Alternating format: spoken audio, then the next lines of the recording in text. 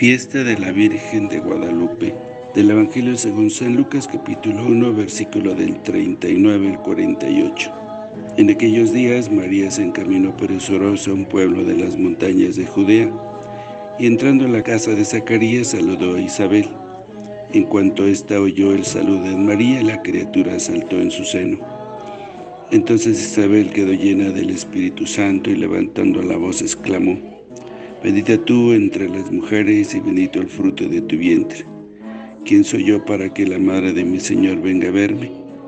Apenas llegó tu saludo a mis oídos, el niño saltó de gozo en mi seno. Dichosa tú que has creído, porque se cumplirá cuanto te fue anunciado de parte del Señor. Entonces dijo María, mi alma glorifica al Señor, mi espíritu se llena de júbilo en Dios mi Salvador, porque puso sus ojos en la humildad de su esclava. Palabra del Señor. Gloria a ti, Señor Jesús. Hoy conmemoramos con gratitud y alegría la festividad de nuestra Madre, la Virgen de Guadalupe, cuya devoción se extiende en toda América. En esta festividad de Nuestra Señora de Guadalupe hacemos memoria agradecida de su visitación y compañía maternal.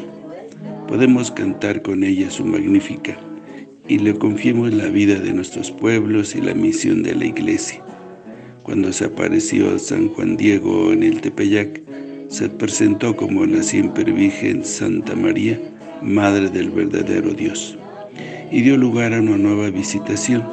Corrió presurosa a abrazar también a los nuevos pueblos americanos en dramática gestación.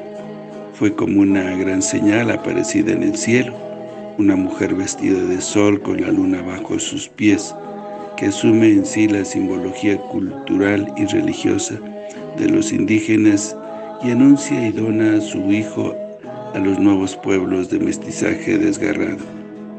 Tantos saltaron de gozo y esperanza ante su visita y ante el don de su hijo. Ella es la más perfecta discípula del Señor y se convirtió en la gran misionera que trajo el Evangelio a nuestras tierras. El Hijo de María Santísima se revela así desde los orígenes de la historia de los nuevos pueblos como el verdadero Dios por quien se vive. Ella nos trajo a su Hijo Jesús, que nos hace sus hijos de un mismo Padre y hermanos entre nosotros. La Santa Madre de Dios no solo visitó a estos pueblos, sino que quiso quedarse con ellos. Dejó estampada misteriosamente su, sagrada imagen en la tilma de su mensajero para que la tuviéramos bien presente, convirtiéndose así en símbolo de la alianza de María con estos pueblos, a, quienes confiere alma y ternura. Por su intercesión, la fe cristiana fue convirtiéndose en el más rico tesoro del alma de los pueblos americanos, cuya perla preciosa es Jesucristo, un patrimonio que se transmite y manifiesta hasta hoy en el bautismo de multitudes de personas, en la fe, esperanza y caridad de muchos, en la preciosidad de la piedad popular de los pueblos, que se muestra en la conciencia de dignidad de la persona humana, en la pasión por la justicia, en la solidaridad con los más pobres y sufrientes, en la esperanza a veces contra toda esperanza. Por eso nosotros hoy podemos continuar alabando a Dios por las maravillas que ha obrado en la vida de los pueblos latinoamericanos.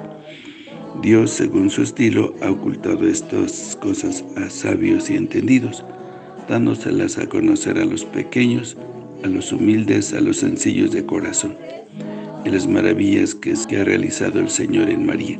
Suplicamos a la Santísima Virgen María en su advocación guadalupana, a la Madre de Dios, a la Reina, a mi pequeña, como lo llamó San Juan Diego, y todos los apelativos cariñosos con los que se dirigen a ella en la piedad popular, que continúe acompañando, auxiliando y protegiendo a nuestros pueblos, y que conduzcan por la mano de todos los hijos que peregrinan en estas tierras al encuentro de su Hijo Jesucristo, nuestro Señor, presente en la Iglesia, en su sacramentalidad y especialmente en la Eucaristía, presente en el tesoro de su palabra y enseñanzas, presente en el santo pueblo fiel de Dios, en los que sufren y en los humildes de corazón. Que así sea.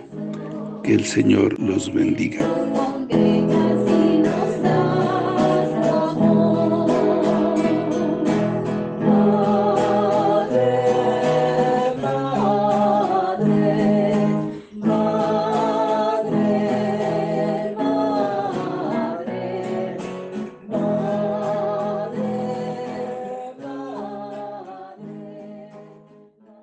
La bendición de Dios Todopoderoso, Padre, Hijo y Espíritu Santo, descienda sobre ustedes, que los acompañe siempre.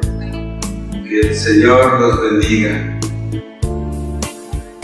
Si te gustó este video y deseas seguir recibiendo el Evangelio, misa en vivo, oraciones y muchas reflexiones más, ayúdanos a seguir creciendo. Suscríbete a este canal de YouTube. Activa la campana de notificaciones. Deja tu comentario, dale me gusta y compártelo con todos tus seres queridos. Que el Señor te bendiga a ti y a toda tu familia. Bendiciones.